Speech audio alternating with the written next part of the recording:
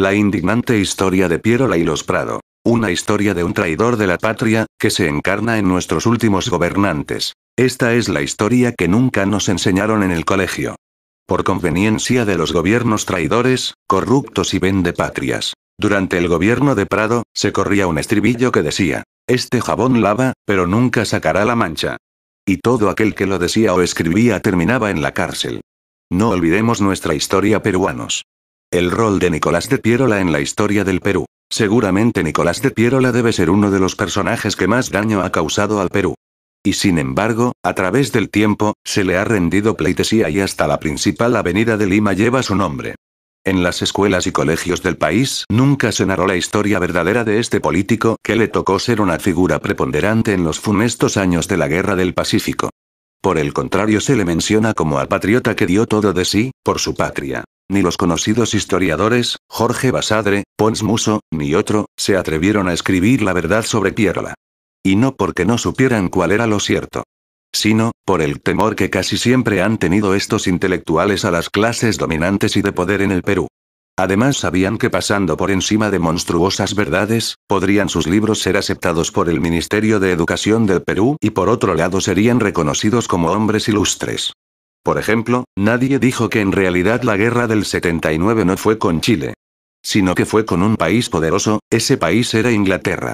La primera potencia del mundo en esos años, que usó a Chile como instrumento para arrebatarle a Perú y Bolivia las riquezas que guardaban su suelo, riquezas que como era natural fueron a parar a las empresas inglesas después.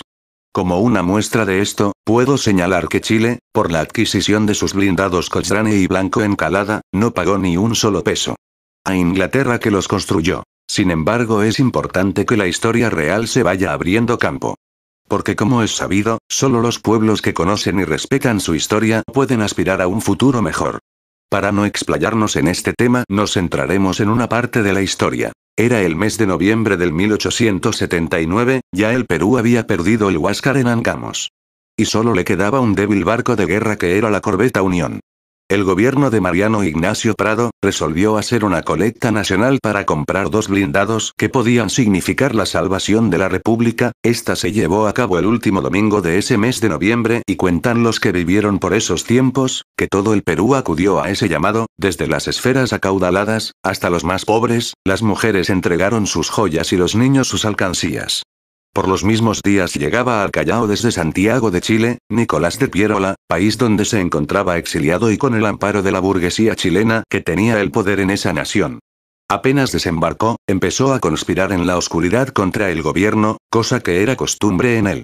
Porque este fue el eterno rebotoso, que hizo subleves y montoneras, en esencia a favor de Chile, que siempre fueron derrotadas, por el gobierno de turno. El 18 de diciembre del mismo año, el presidente Prado a escondidas, se embarca en el Callao, en un vapor que iba a Panamá, llevándose el producto de la colecta, que el pueblo peruano hizo para comprar dos barcos blindados. Cuando llegó a Guayaquil, renunció a su cargo y se fue a París, de donde jamás volvió y fue un hombre acaudalado en la ciudad luz. Esta indignante traición apenas si se cuenta en la historia oficial del Perú. Mariano Ignacio Prado, no volvió, pero años más tarde, sí volvió su hijo Manuel Prado Ugarteche. Y aunque parezca increíble, el pueblo peruano lo eligió dos veces presidente. Es cierto que la amnesia de los pueblos no puede tener límite. Y su familia en el país, fue poderosa y acaudalada. Ostentando lujos y osadía y todo eso con el dinero de hombres y mujeres, de niños y ancianos que se desprendieron de lo que tenían, porque pensaron que así se salvaría la patria. La huida de Prado, significó el momento preciso que buscaba Pierola para hacerse del poder y así, al frente de una montonera, entró en Lima, para derrocar al gobierno que estaba a cargo del vicepresidente, general La Puerta. Hombre entrado en años y de poco carácter, que no opuso mayor resistencia. Además las tropas acantonadas en Lima, a través de sus jefes anunciaron que no se batirían contra peruanos en un momento tan difícil para el Perú por lo que aceptaban el gobierno de Pierola, para no causar más males a la nación. Apenas Pierola tomó las riendas del país, empezó un monstruoso plan contra su propio país, el Perú. Este hombre conocido como vanidoso, engreído y egocentrista, comenzó a dar los pasos para hundir a nuestro Perú.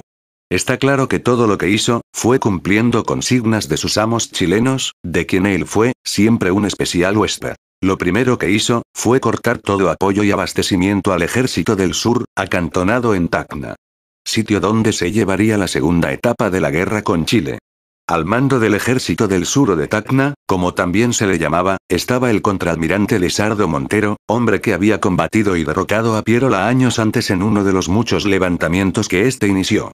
Por lo tanto lo tenía como enemigo político y sentía celos de él, porque si tenía éxito en la campaña del sur, podría ser bien visto por el pueblo peruano, y podría arrebatarle la presidencia. Pensando así, de esa forma tan mezquina, condenó a estas fuerzas peruanas al más absoluto abandono, en momentos en que se jugaba el destino del país. El pueblo limeño al notar esta actitud, por demás reprochable del dictador, salió a las calles en ruidosas manifestaciones pidiendo que se envíe socorro a los defensores del sur, que sufrían por escasez de alimentos, armas, municiones, ropa y los refuerzos necesarios para enfrentar al fuerte y numeroso ejército chileno que empezaba a desembarcar en Hilo, en ese tiempo llamado Pacocha. En Lima había en ese momento dos divisiones de 8.000 soldados cada una, que había formado el general Lacotera. Por orden del gobierno anterior y que permanecían inmóviles en sus cuarteles. Pierola para callar las protestas ordenó enviar un cargamento secreto hacia Arica en la corbeta Unión, así fueron embarcadas con mucha fanfarrea y teatro un cargamento, en el que se suponía iba la salvación del ejército del sur. La misión era muy difícil, porque el puerto de Arica estaba bloqueado por la escuadra chilena. Manuel Villavicencio, marino hábil e inteligente, fue el encargado de llevar a la Unión a su destino. Corrían los últimos días del mes de febrero de 1880. La Unión se acercó al puerto de Arica en la madrugada del 26 de ese mes, y empleando buenos movimientos pasó en la oscuridad entre los buques chilenos, y ancló en el muelle del puerto peruano e inmediatamente inició la labor de descarga. Sin ocuparse de contestar al cañoneo de la flota del país del sur. El Huáscar que ya estaba al servicio de la escuadra chilena, intentó espolonear a la Unión. Pero un certero cañonazo de una batería de tierra paró esa intención y además, causó la muerte de su comandante, de apellido Thompson. A las 4 de la tarde, la faena había terminado, y sin perder tiempo y aun cuando el sol no se perdía en el horizonte, la Unión, con una hábil maniobra logra romper el cerco de la poderosa escuadra chilena, en medio de las hurras peruanas del muelle, del asombro de los marinos chilenos y el aplauso y admiración de los barcos neutrales, que en señal de saludo lanzaron al aire sus sirenas. La Unión, llegó al Callao, sana y salva. Pasada la euforía, los peruanos en Arica comenzaron a desempacar el cargamento que vino en cajas cerradas, y se dieron con la triste sorpresa de que solo les habían enviado montones de tela blanca y dos ametralladoras malogradas e inservibles.